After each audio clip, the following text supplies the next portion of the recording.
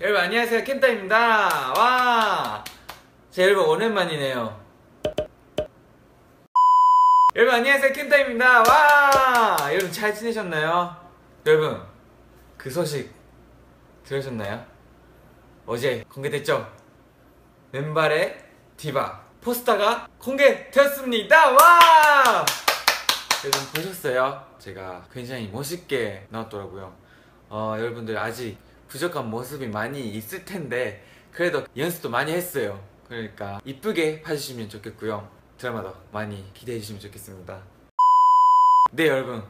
웹드라마 맨발의 디바는 SBS와 어, 푹에서 어, 확인할 수 있으니까 여러분 많이 봐주시면 좋겠습니다.